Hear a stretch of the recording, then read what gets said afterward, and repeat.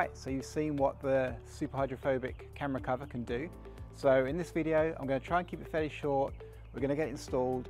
Um, there are some key tips to making sure it's a successful installation, so please take the time and watch it.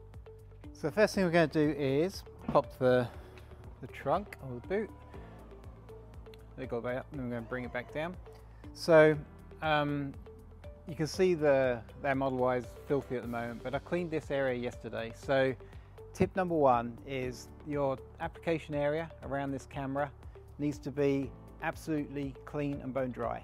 Um, so, you know, the weather's been pretty nice here, so cleaned it yesterday, it is clean and bone dry. Um, we do supply an alcohol wipe in the box. Let me just show you that real quick.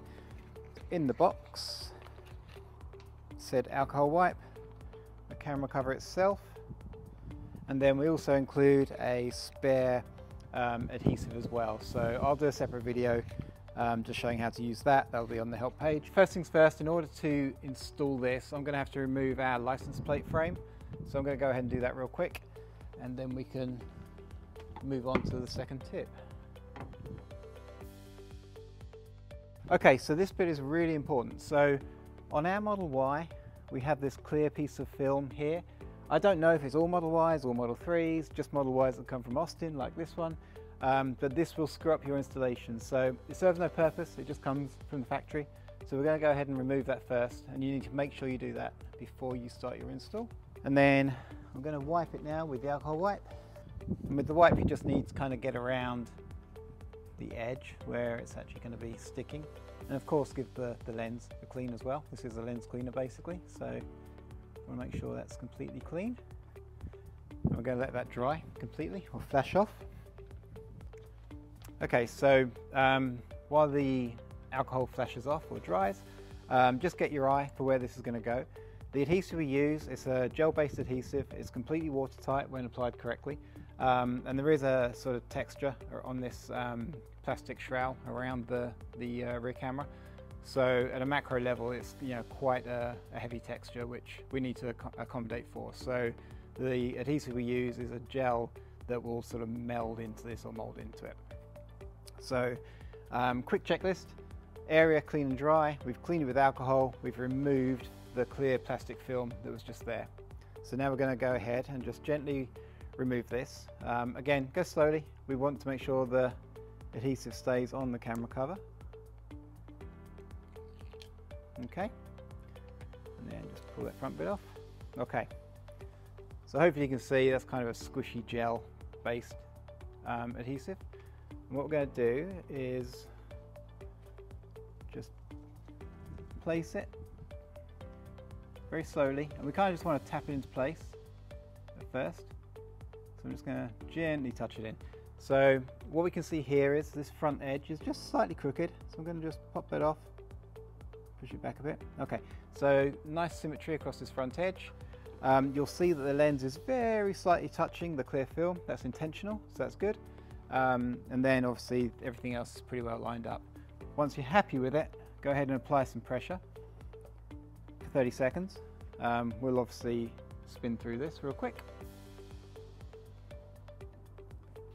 Okay, so when you're applying the pressure, obviously do it on this front edge, but be sure to get the back as well.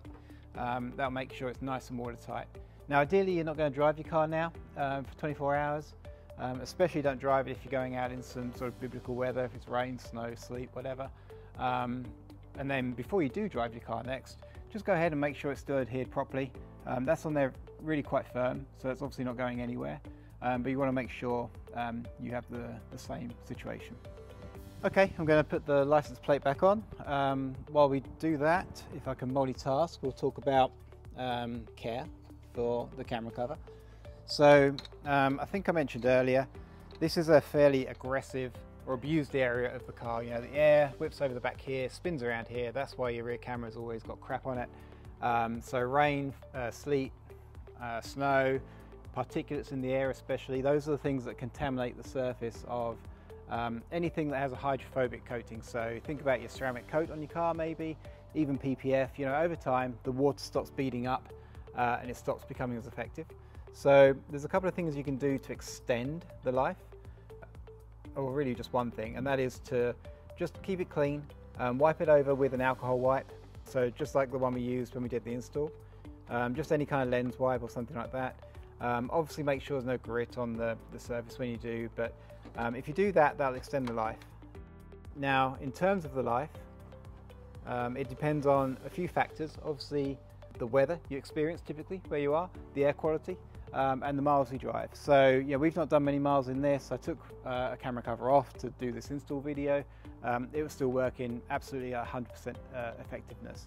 Um, but over time, it'll become contaminated. The lens cleaner can only do so much, so you'll notice it when water starts to speed up um, or stop speeding up and um, being repelled or rejected by this, this coating, um, and that's the time to replace it. So we believe that um, you'll definitely be good for a few months no matter where you are. Um, if you have sort of fairly temperate weather, then you're probably good for six months. Um, but again, there's so many factors at play, it just depends. So, but you'll see it, soon, you know, when it starts to um, stop repelling the water so well, that's when it's time to replace it. So with that, um, safe driving and see you soon.